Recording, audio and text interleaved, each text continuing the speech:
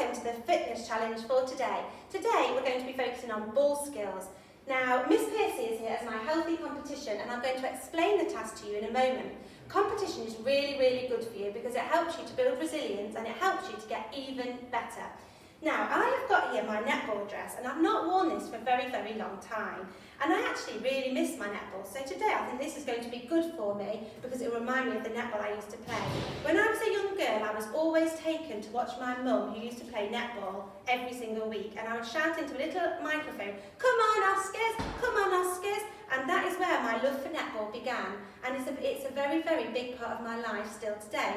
Miss when she was younger and at school, I used to coach Miss Piercy netball and we both used to play for the exact same netball club called Pennine Netball.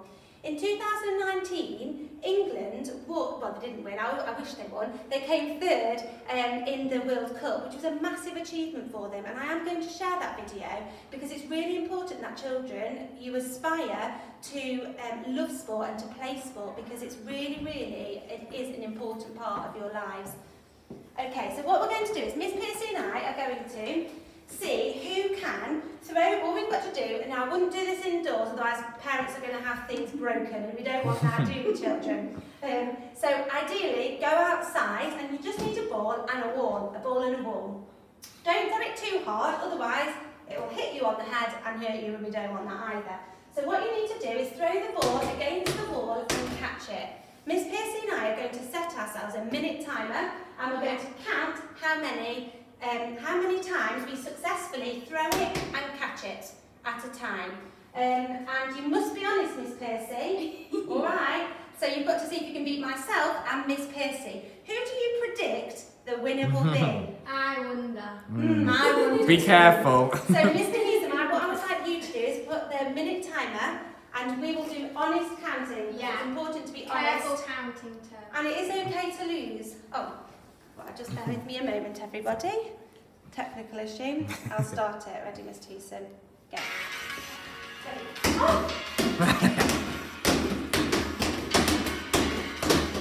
Come on, Miss Piercy. Woo, Miss Allen. Woo, woo. Oh, it's tough competition. Who's going to be the winner, kids? Looks like it's close.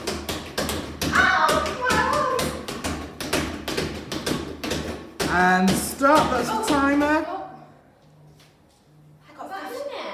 I don't think it was. I think it was half a minute, but Oh, it's calling me. Oops. I got 52.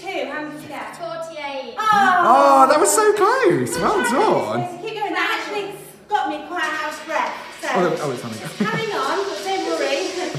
See you soon, everybody. Oh,